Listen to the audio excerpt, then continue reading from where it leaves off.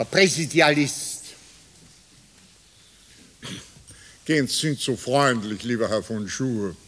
Richten Sie mir ja den Sprechakt für 11 Uhr. Der Sektionschef hat ihn gestern schon dringendst urgiert zur Approbation.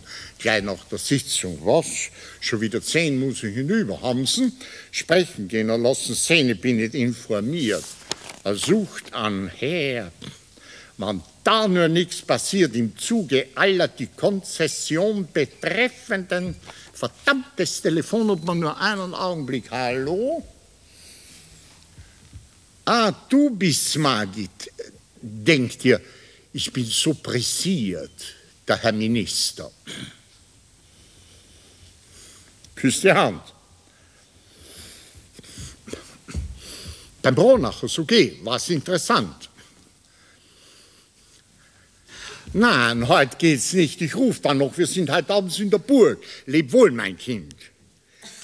Betreffend und im Verfolg HO-bezogenen Bedingnissen sowie der etwa unter Rücksicht auf den abzuwartenden Prozessverlauf erforderlichen Maßnahmen, womit der Bundesschatz die Pfandrechte vertritt und unter Anschluss Servus, Herr Baron, weißt schon das Neueste, nimm Platz. Der Sohn vom Hofrat Kirk soll sich, naja, man sagt, gehen's, Herr von Schuhe, ich brauche noch den Akt. Du glaubst nicht, wie der aufpasst. Also soll sich auch betätigt. Gestern alles voll.